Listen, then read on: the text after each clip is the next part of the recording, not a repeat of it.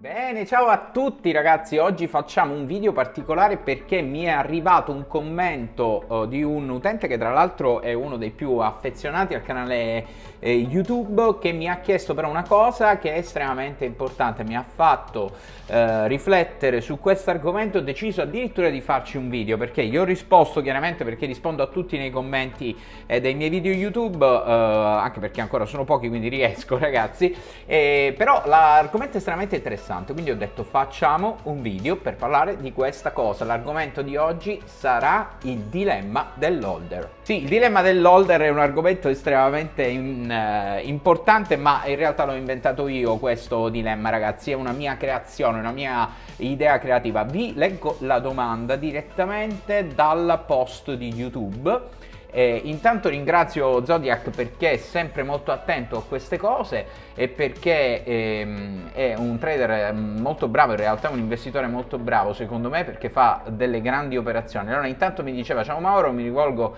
eh, vabbè sì, mi sta prendendo in giro per il mio abbigliamento del scorso video. Allora ormai leggendo i commenti insomma ho capito che sono un holder e, mm, e sono qui per il lungo pe- eh, periodo però ho un dilemma. Allora mi dice che in sostanza sostanza ha investito su una serie di token che sono quelli degli exchange, che io adoro ragazzi, Binance, Uh, uh, OKX token, UB token che insomma uh, io stesso ho. E um, insomma sono cresciuti tantissimo questi token nell'ultima fase rialzista delle altcoin e, dice adesso non so come comportarmi, salgono ancora, eh, devo chiudere oppure no. Ragazzi, allora questo è il dilemma dell'holder. Perché è un dilemma eh, dell'holder? Perché esattamente l'holder non sa cosa fare in queste determinate eh, situazioni. Perché non sa cosa fare ragazzi? Perché non è un trader. Allora questo è il problema di fondo di questa uh, situazione. Quindi se io sono un holder e non ho formazione informazione in ambito di, di, come si fa trading per esempio e di quello che è eh, il modo di uscire da una posizione che ha, fa- ha, avuto grandi profitti perché queste posizioni hanno avuto profitti eh, per eh, quasi il 100% quindi veramente alte ragazzi allora la domanda Uh, dell'holder è che faccio adesso? Allora, qual è il dilemma dell'holder? Ve lo uh, riassumo in maniera molto semplice. L'holder non esce quando il mercato scende, perché dice ok, io sono un holder di lungo periodo, non esco quando il mercato scende. Però ragazzi non esce neanche quando il mercato sale, perché non lo sa fare. Questo è il problema. L'holder non sa uscire dal mercato.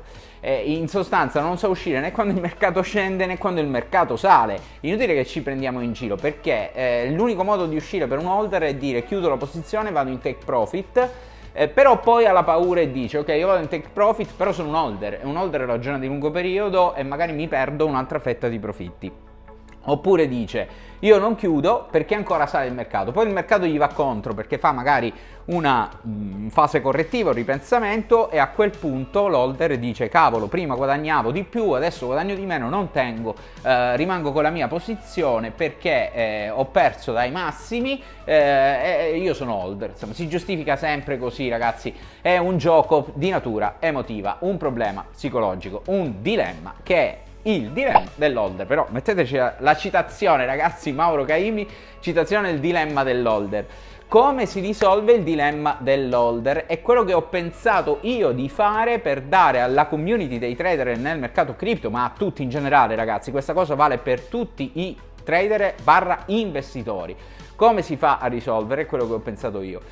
Eh, si fa in una maniera abbastanza semplice da enunciare, molto difficile da rendere propria. Avete presente quando bisogna far assorbire qualcosa dentro la nostra parte, c'è il nostro schema intellettivo che è pieno di bias, li sappiamo, quando dobbiamo far assorbire alla nostra mente quello che è un concetto di natura emotiva ci mettiamo molto tempo. Quindi il concetto è semplice ve lo dirò tra pochi secondi ma poi l'assorbimento è difficile. Quindi ho pensato anche di fare un regalo a tutti relativamente a questa cosa e ve lo dirò alla fine del video. Uh, allora, come si fa a risolvere il dilemma dell'holder? L'holder deve prendere coscienza di una cosa fondamentale la coperta è sempre corta. Adesso ragazzi eccola qua.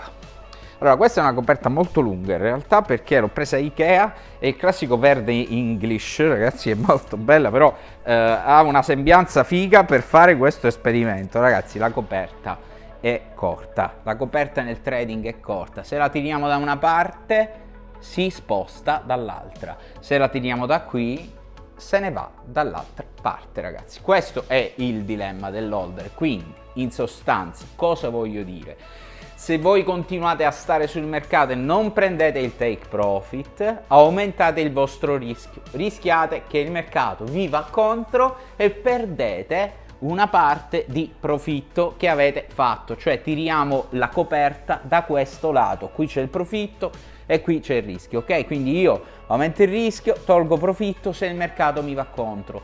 Ma se voglio rischiare di più e quindi voglio dire se il mercato poi mi fa più profitto e io sono uscito, allora sai cosa faccio? Voglio rischiare. Bene, allora aumentiamo il profitto possibile, si riduce quest'altro lato e quindi eh, ragazzi voi potete prendere più profitto. Quindi in sostanza si rinuncia all'eventuale nuovo profitto oppure si rinuncia a quello già maturato perché se il mercato vi va contro voi a un certo punto dovete uscire anche se non avete più il guadagno di prima. Questo è il problema, quindi uh, nell'un caso io rinuncio all'opportunità di fare nuovi profitti, nel secondo caso rinuncio al guadagno che ho appena maturato e dico benissimo, allora se io voglio lasciare la posizione devo accettare dentro la mia testa che questo guadagno che sto vedendo lo sto mettendo in pericolo e quindi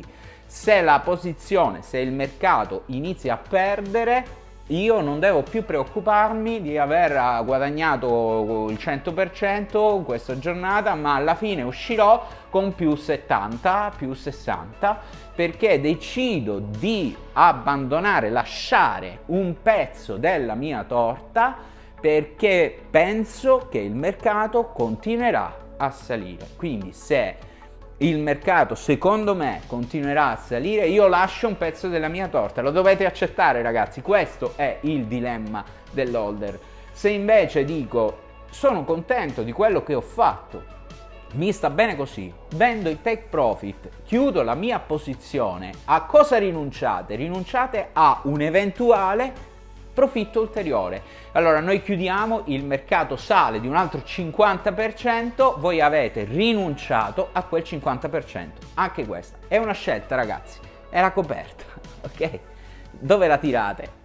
da una parte è sempre corta. C'è un modo per far sì che questo tipo di eh, problematica possa venire eh, un, po', un, po', di più eh, gestita dal trader professionista, da chi effettivamente magari vuole insomma dedicare un poco poco poco di più di tempo a questo tipo di eh, ragionamenti a questi tipi di materia sì questa cosa è possibile farla utilizzando dei piccoli trucchetti guardando il grafico ragazzi. Non sono cose estremamente eh, difficili per eh, un trader sono cose semplicissime. Per un holder sono cose che magari insomma dovete un po' guardare. Cioè cosa significa ragazzi? L'holder si deve leggermente mutare in trader a forza obbligatoriamente se vuole rendere questo processo il più efficiente possibile, cioè minimizzare i due lati della coperta. Qui ce n'è un'altra, ragazzi, cioè minimizzare i due lati della coperta. Se eh, volete minimizzare questa cosa, vi dovete trasformare leggermente in trader.